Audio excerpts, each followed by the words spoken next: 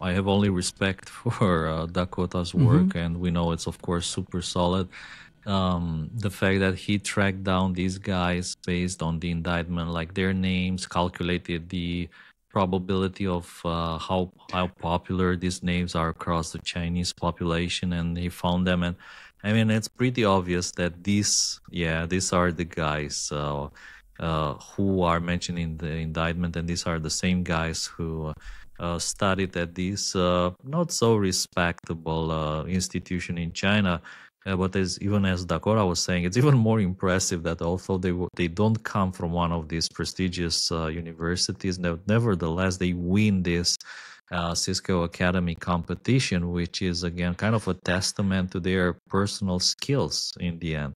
So um, it's another confirmation about the fact that these guys they know their stuff. They're like pretty pretty good at what they do. Even uh, although the whole Salt Typhoon uh, story is kind of fuzzy,